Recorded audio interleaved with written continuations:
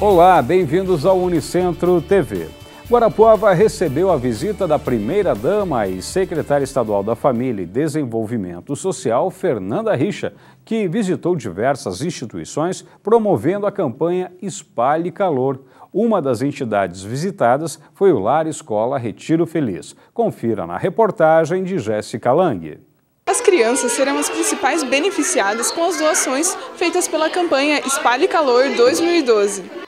Durante a visita foram entregues cobertores e produtos alimentícios, que vão auxiliar o Lar Escola Retiro Feliz e outras cinco entidades de Guarapuava.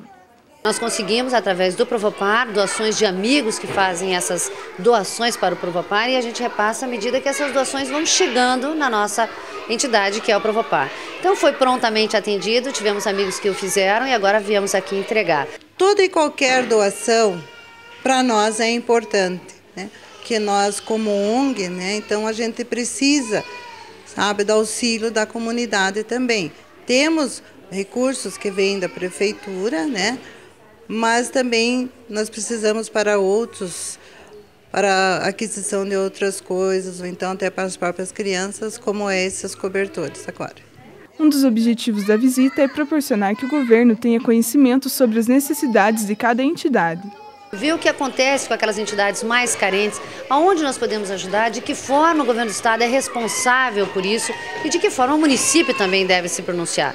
Então a parceria município, estado e sociedade civil, ela é imprescindível, tem que andar sempre junto para a gente poder melhorar a vida das pessoas. E esse é o grande objetivo do governo. Uma das formas de melhorar a qualidade de vida é através do programa Família Paranaense é um programa que visa ah, restabelecer a dignidade dessas famílias, colocar, inserir a família na saúde conforme a necessidade dela, na educação das suas crianças e adolescentes, na qualificação e capacitação para os adultos, na, na, na, na posse da casa, na titularidade da sua casa, a urbanização da sua comunidade. Enfim, é um programa muito grande que dá a condição de poder melhorar a vida de muitas famílias e de todo o município. O Unicentro TV fica por aqui, mas continue ligado. Em breve nós retornaremos com novas informações da nossa universidade. Um abraço a todos e até lá!